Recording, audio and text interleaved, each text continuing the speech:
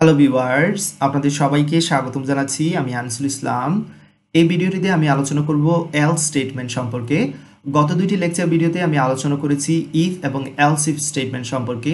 আশা করি সেই ভিডিওগুলো আপনারা দেখে নিয়েছেন। যারা এখনও দেখেননি, অবশ্যই সেই ভিডিওগুলো দেখার পরই এই ভিডিও টিউটোরিয়ালে চলে আসবেন। তো প্রথমেই আমি আপনাদের ইফ এলস ইফ এবং এলস এর সিনটেক্সের ব্যবহারটা দেখাচ্ছি। আপনারা একটু লক্ষ্য রাখবেন।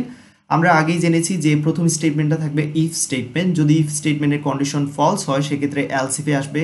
এবং এই এলসিফের কন্ডিশন যদি ফলস হয়, তাহলে নিচের এলসিফে যাবে, যেমনটা আমরা অলরেডি জানি। অনেকগুলো এলসিফ থাকতে পারে। এবার যে বিষয়টা লক্ষ্য রাখবেন, একেবারে সবার শেষের স্টেটমেন্টটা থাকবে এল স্টেটমেন্ট দ্যাট মিনস উপরের কেউই যদি কাজ না করে, সেক্ষেত্রে অবশ্যই যে স্টেটমেন্টটা কাজ করবে, সেটা হচ্ছে এল স্টেটমেন্ট এবং লক্ষ্য রাখবেন এল স্টেটমেন্টে কিন্তু কোনো কন্ডিশন থাকবে না। কারণটা হচ্ছে, উপরের কেউই যদি কাজ না করে, তাহলে নির্দ্বিধায় সে কাজ করবে ওকে সো এবার আমি এলসের ব্যবহারটা ব্যবহারটা আপনাদের দেখাচ্ছি।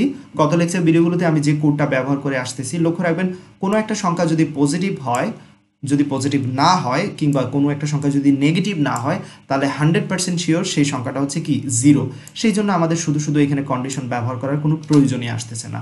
সুতরাং প্রথম কন্ডিশন অলওয়েজ ইফ থাকবে, মাঝখানে অনেকগুলো এলস ইফ থাকতে পারে এবং সবার শেষের স্টেটমেন্টটা কি থাকবে? এলস থাকবে। তাহলে কোনো একটা সংখ্যা আমরা সাপোজ ফাইভ যদি ইনপুট দেই ফাইভ চেক করবে জিরোর চেয়ে বড় এবং প্রিন্ট করবে পজিটিভ প্রোগ্রামটা এখানেই টার্মিনেট করবে।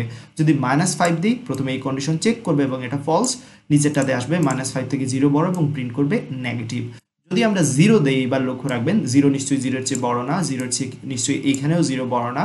সুতরাং সাথে সাথে এলসের মধ্যে চলে আসবে এবং প্রিন্ট করবে জিরো লক্ষ্য রাখবেন এলসে কখনোই কন্ডিশন হবে না।